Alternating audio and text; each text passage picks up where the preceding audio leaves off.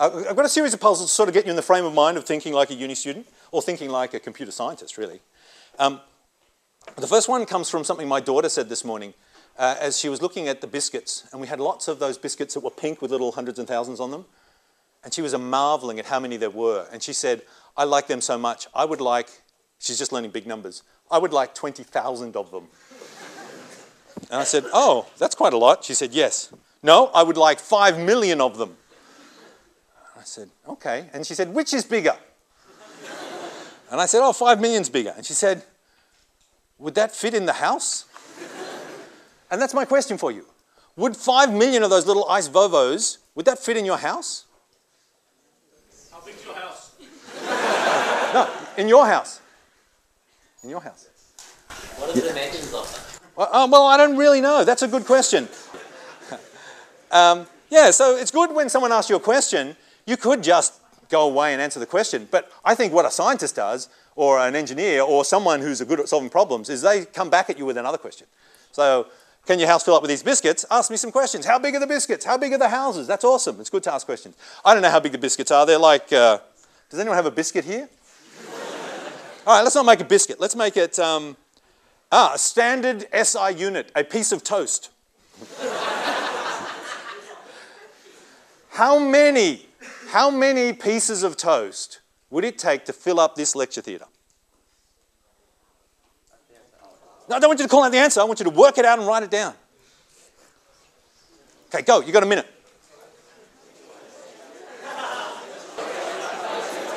This is shh, shh, shh, This is music to my ears. There's, there's nothing a lecturer likes more than this. Oh no, don't call out the answer. Don't call out the answer.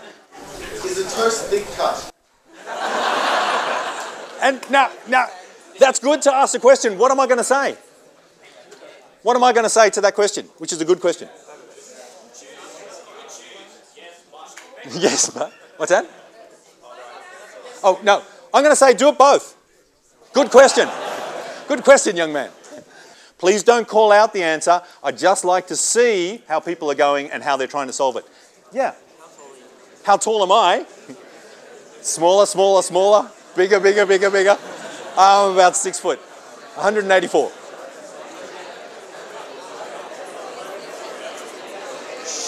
So we're going to stop now. Stop, stop, stop, stop, stop. You guys are mad on toast. Turned out nice again, hasn't it?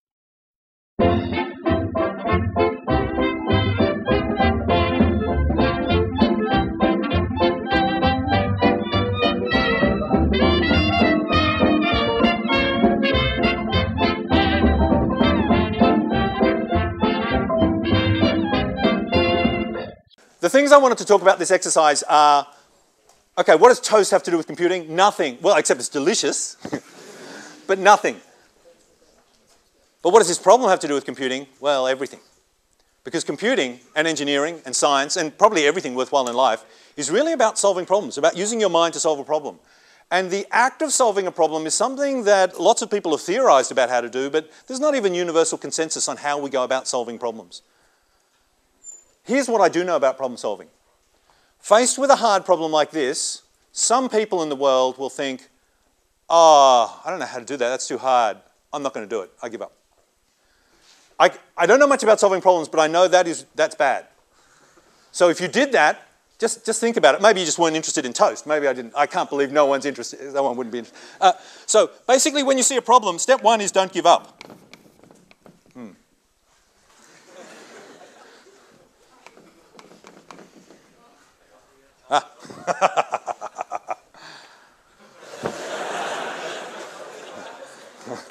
Not giving up.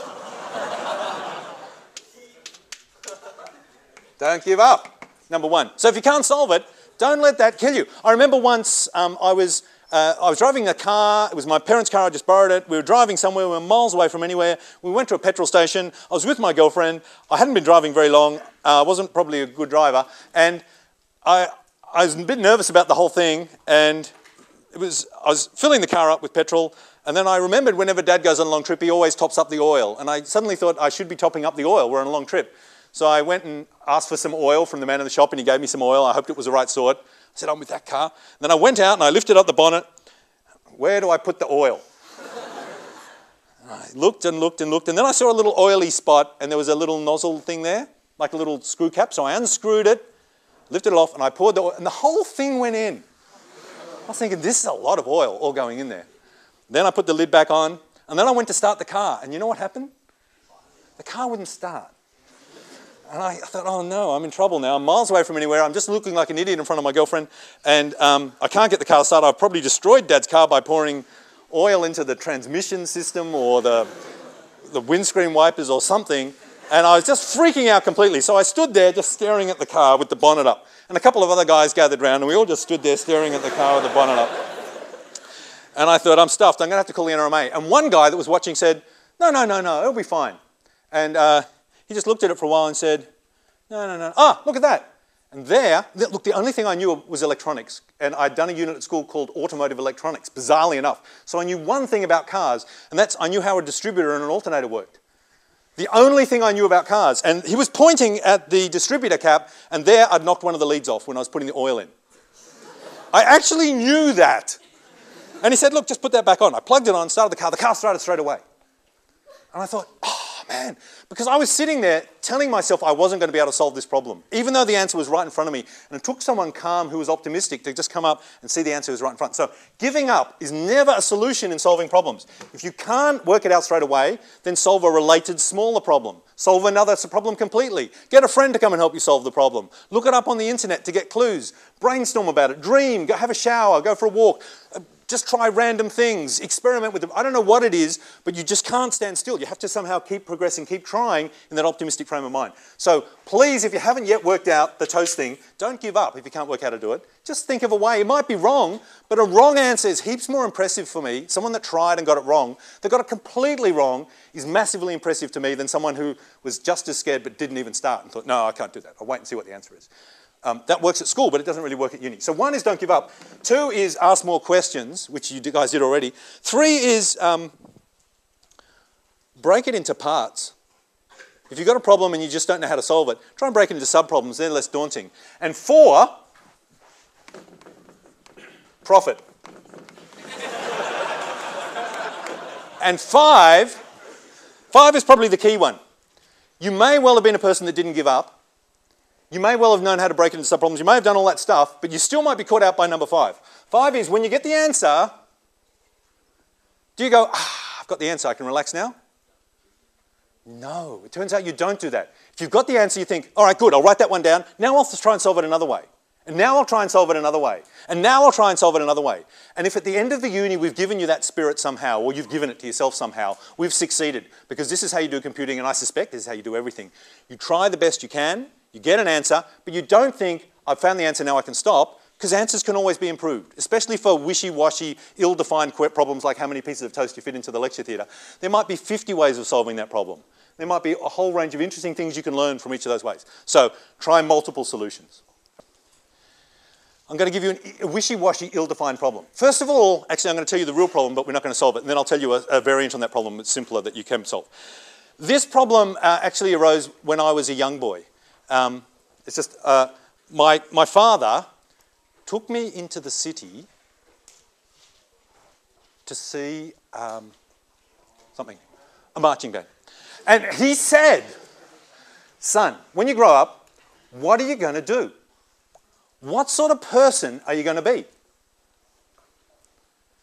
And I thought, oh, I thought first he was asking me what sort of job I was going to have. Like, was I going to be an accountant or a, a lawyer or a doctor, because they were the only three professions I knew from watching TV, or, no, or a policeman, a forensic policeman.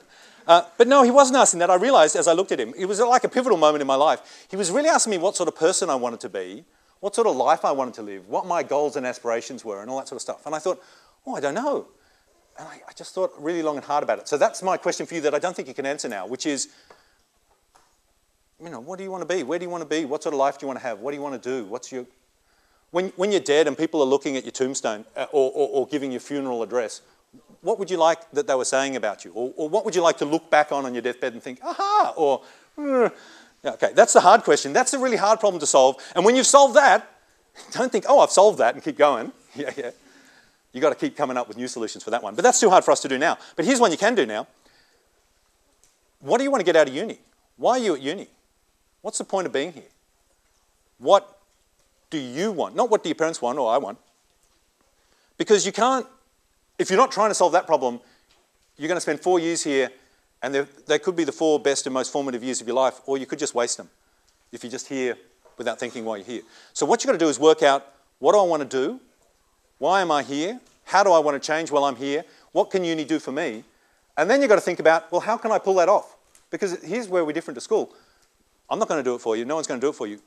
Uni is just a whole lot of resources that you can access to do things. Don't wait till you've left uni and then look back and have regrets and think, I wish I had, I wish I'd done this, I wish I'd done that. Think what you want to do and then what you've got to do to achieve what you want to do. So that's your homework for next Wednesday. You don't have to tell anyone in the world except I want you to write it down somewhere. I want you to work out what you want to get out of uni, what your point of being here is, what your hopes are for uni. Yeah, yeah, yeah. I was speaking to one of our um, tutors, and she's really good, Nathania. And we were talking about uni and what uni's for and what you guys would be going through and how you know you're starting and what you're thinking. And she said, surely, um, surely everyone here is just thinking uh, they just want to get a job. And surely that's what uni's about. It's just like a job training thing. You're just learning skills so you can get a job. And then you can earn some money and buy a house. And then I said, no, Nathaniel, no, no. Uh, there's got to be more to life than that. And so that's what I want you to think about. Okay, so that's the hard problem. Now we're going to move on to the easy stuff. I have two things I want to say before we're done. I want to talk a little bit about um, high school. Uh, what do you think is different between uni and high school? This is your one chance, yeah, to reflect. After today, you're never going to think about what uni's like. You're just going to be doing uni every day. And then you'll get to the end and you might look back and feel happy or sad or regretful. But today's your one chance to actually think about it. So how do you think uni's different to high school? Yeah, shoot. What's your name? You keep answering questions. I should give you a pixel too. What's your name? Uh, Callum. Callum. Do you want his pixel? you could have like a thumb war to see who gets to keep it. No, pick two numbers. Uh, 42, 42, 40, oh, 42, 42. Theo's making a sad looking face in the back. Could you give him a pixel too somehow? We'll work out how to do it. So, Callum. Yeah, question. Um, Do you want a pixel? yeah. Yeah, yeah.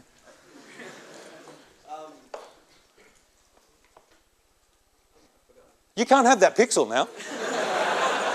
no, I like, yeah, yeah. More independence. Yeah, yeah, yeah. you're reliant on yourself. Yeah, perfect, perfect, perfect, perfect, perfect. Uni versus school. One, self reliant.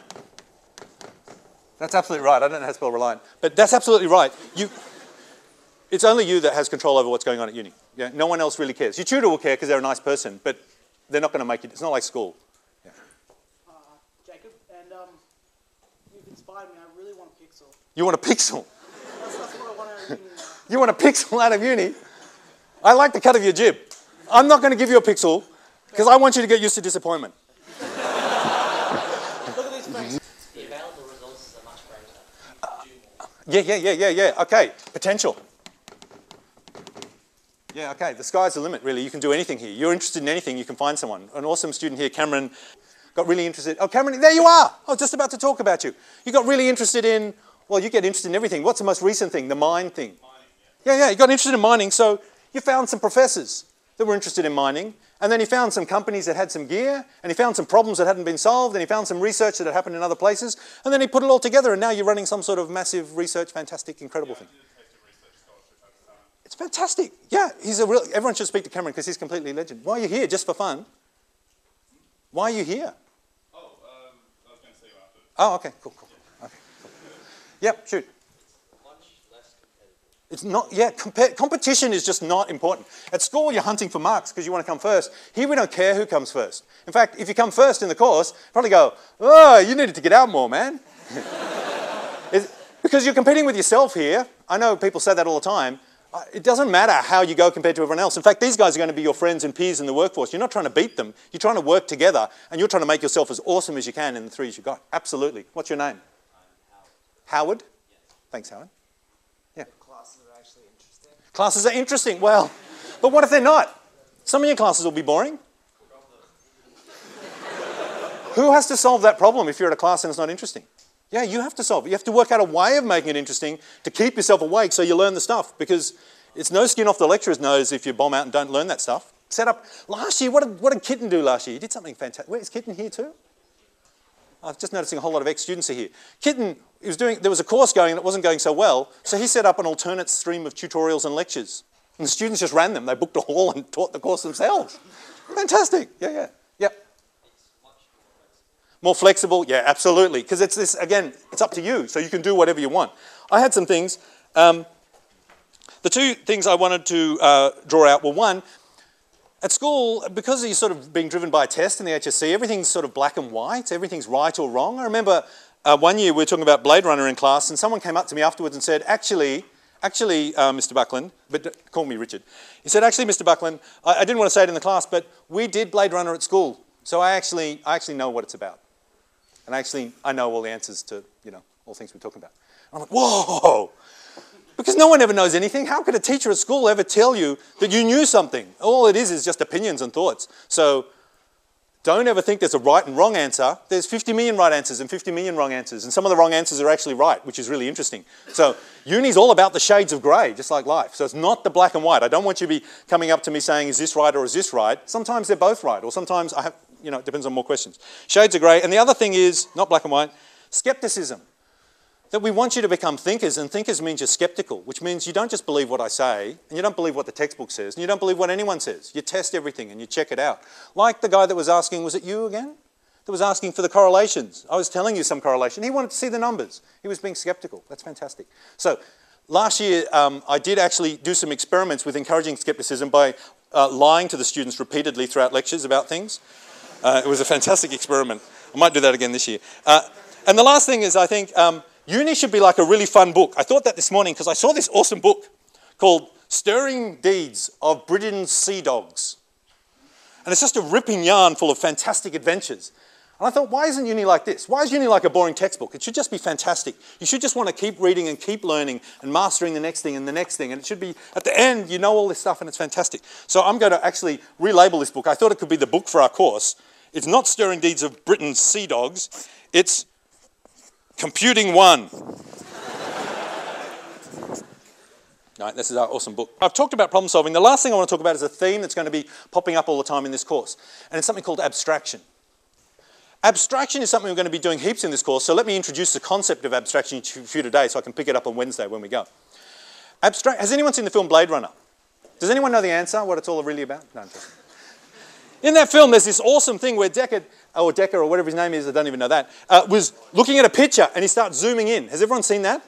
And he keeps going, he says enhance or something.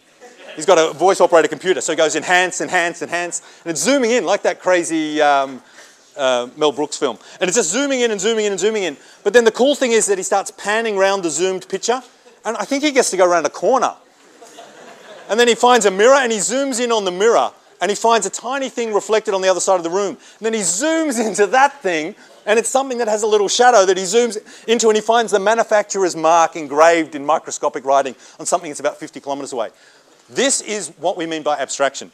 Enhance is going in, abstraction is coming out. So abstraction is the art of seeing things at different levels. I've got two examples of that. Example one is the human body. I am Richard. But I also am, what else am I? What's that? A meat popsicle. I am uh, a bazillion cells. Which is the true story? Am I a bazillion cells or am I Richard? Well, I'm both. They're both describing me. One's not right and one's not wrong. They're just different levels of abstraction. They're different ways of looking at the same thing. But my cells are made up of chemicals and sodium pumps. So I'm a whole lot of organic molecules. But I'm a whole lot of organic molecules, or am I a whole lot of cells, or am I Richard? I'm all of them. And depending what problem you're trying to solve, it's interesting to look at those different levels. But it's the same thing. If you could only go through life seeing everyone, oh, well, those organic chemicals are made up of elements. So I'm just a whole lot of atoms. But those atoms are made up of subatomic particles. So I'm just a whole lot of subatomic particles. Although that is the truth, it's not useful in dealing with me if you're asking, you know, trying to make me happy or give me a birthday present to think of me as a whole lot of subatomic particles. It's not useful for you if you're a doctor trying to cure my cancer to think of me as a university lecturer. You want to think of me as a lymphatic system connected to this system. Depending on the different problems, there's different ways of viewing things. These are called abstraction. We'll be doing that a lot in this course, flipping our levels of abstraction, enhancing, going down, and then abstracting, going back up, trying to find the right level to solve a problem.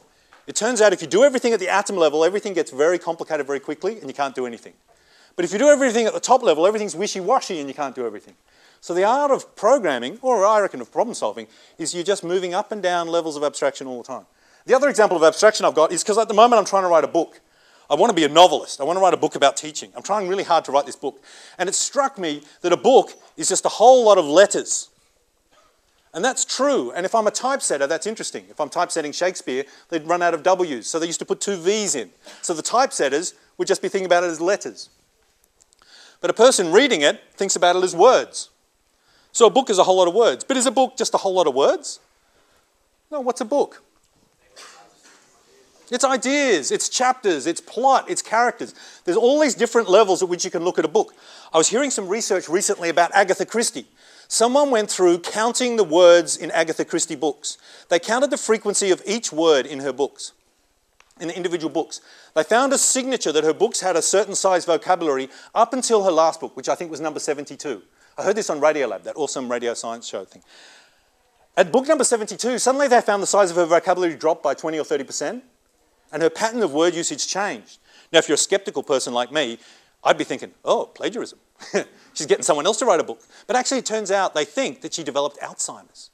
And this was a key, a tag, an indicator that she was changing. So at that level, counting the number of words is interesting. You could do it to Shakespeare. He has a huge number of words. When I've done an analysis on Shakespeare, my theory is that Shakespeare was actually written by a couple of different people. Oh, what a nut I am. So, do you understand the notion of abstraction and difference and things like that? Okay, we'll be talking about that heaps. And just before you go, last question. What is this? What is it? Does anyone know? Yes, what is it? A player piano. Yeah, yeah, yeah, yeah. This is a song. A player piano, you'd feed this piece of paper into it, it would play a song. So my question for you, in addition to the other question I've already asked you to solve, is this. Is a player piano and this, is that a computer? Is that not a computer? I don't want you to call it out now. I want you to think about it. And when you know the answer, what do I want you to do? Keep thinking about it. Yeah, okay. Is it a computer? If so, why? If not, why not?